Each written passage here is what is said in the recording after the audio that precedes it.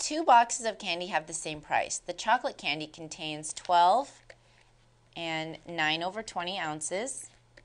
And the fruit candy, let's say this is the chocolate, and the fruit candy contains 12 and 7 16th ounces. Which candy is the better buy? Well, I need to make the denominators the same so that I can compare. The 12 and the 12 are not going to give me any information here because they are the same. So really what I'm going to be doing is comparing these two fractions, 9 over 20 and 7 over 16. Let's find their common denominator.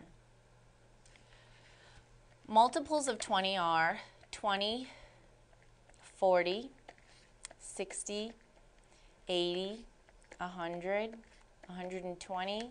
Let's try some of 16 and see if they've met up. 16, 32, um, 48, um, 64, 4 is, uh, and then 80. All right, so we have found our LCD 80. Another way to do that is with the factor tree. 4 times 5, 2 times 2, and 5. And here, 4 times 4, 2 times 2, 2 times 2. And you take all the factors that they do not have in common. So for example, 2 and 2, 2 and 2. They have those in common, so I'm going to take only one set of them.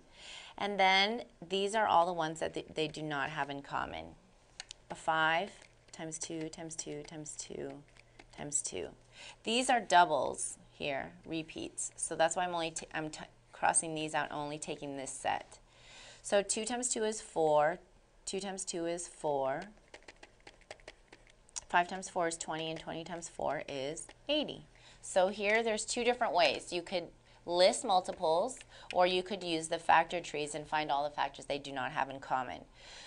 So we're going to make both numbers, denominators here, into 80 so that we can compare their numerators.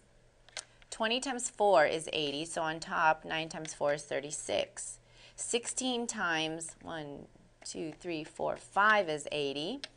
So on top, 7 times 5 is 35.